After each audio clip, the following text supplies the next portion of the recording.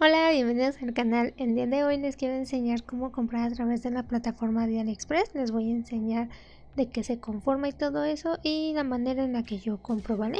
Así que vamos a ver.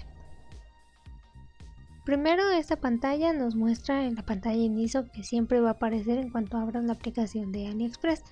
Aquí abajito podemos ir viendo las diferentes pantallitas que nos, bueno, las diferentes secciones que nos van a dar la aplicación. En la primera pues te dan las recomendaciones, ofertas y cositas que ellos creen que te pueden gustar.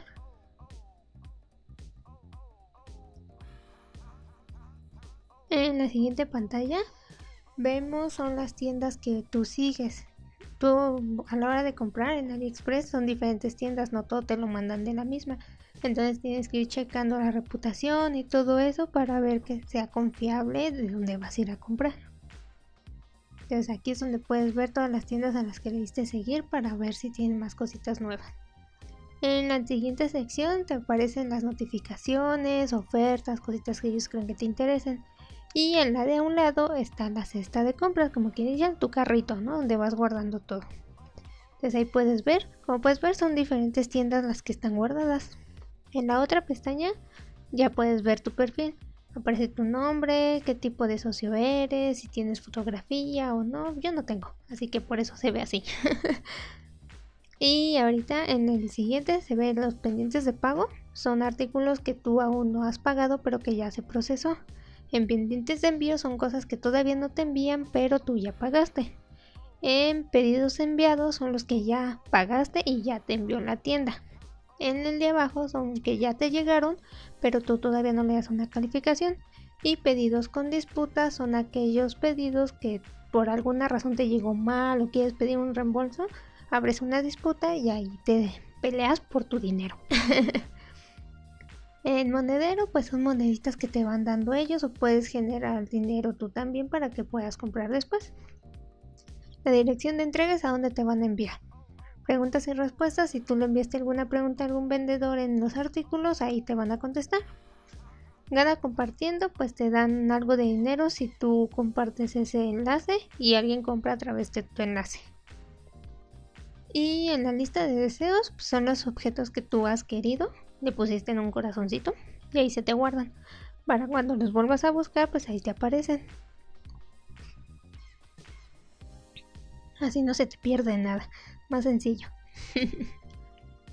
Estos que están viendo aquí son los que yo enseñé en mi último video que se los dejo por aquí por si no lo han visto, ¿vale? En la siguiente sección son todas las tiendas a las que le diste seguir. Todas, todas. Sigo muchas que ya ni me acuerdo de por qué. en la otra sección es el historial por si no, no te acordaste de ponerle el corazoncito y quieres volver a buscar tu artículo, pues te metes al historial, te lo marca por el día en el que lo buscaste. Y cupones, yo no los utilizo, pero te van dando varios cupones, así que puedes aprovecharlos. Y ahora sí, les voy a enseñar cómo se busca en la lupita de acá arriba. Es el buscador, como en Google. Entonces le pones sobre qué artículos quieres buscar. Yo le puse gatos para que vean que aparece ahí aparecen muchos gatitos diferentes, ¿no? Entonces en relevancia se puede ordenar por precio, ya sea del más alto al más bajo, del más bajo al más alto o según los números de pedido.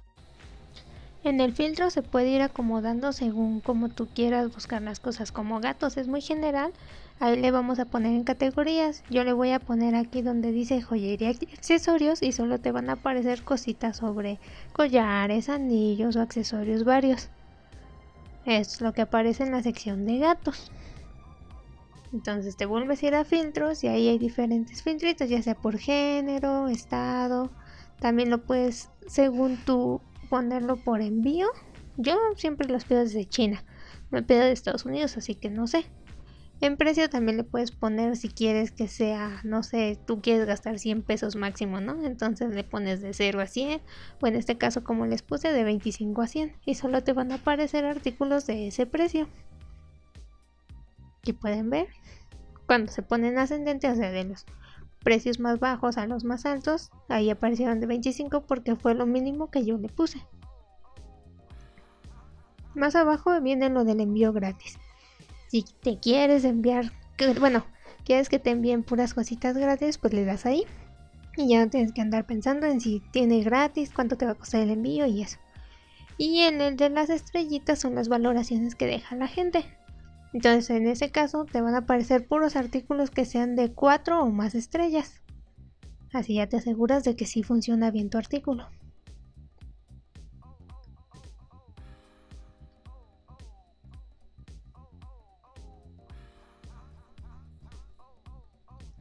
Ahora les voy a enseñar cómo comprar. Miren, vamos a buscar el artículo que nosotros queremos. Bueno, no lo voy a comprar nada más, es para enseñarles. aquí por ejemplo le meto aquí en el collarcito del gatito. Y aquí abajo, como pueden ver, viene lo del envío gratis. Ahí se tienen que fijar porque luego dice envío gratis y no es cierto. Entonces ahí te indica si te va a costar algo o no. Y si quieres cambiar tu método de envío, simplemente le das clic donde dice envío gratis y seleccionas el que te gusta. Yo generalmente selecciono este de China Post que es el que me parece mejor. Pero ahí sí ustedes tienen que ir viendo qué es lo que les conviene. Ahora bien, vamos a seleccionarlo. Aquí abajito, en contactar con el vendedor, pueden enviarle algún mensajito o algo si tienen dudas sobre el artículo. Más arribita de contactar con el vendedor, como pueden ver, viene un porcentaje. Ese porcentaje es la valoración que tiene la tienda. Entre más cercano al 100, obviamente es mejor valorada la tienda y es más probable que te lleguen tus artículos. Yo te recomiendo que te pongas más o menos de 95 a 100%. Los que van un poquito más abajo yo casi nunca les compro. Entonces, bueno, ahí cada quien ve qué tanto le conviene o no. Entonces le vamos a seleccionar el artículo y le damos en añadir a la cesta. Eso es lo que se te va a añadir en el carrito.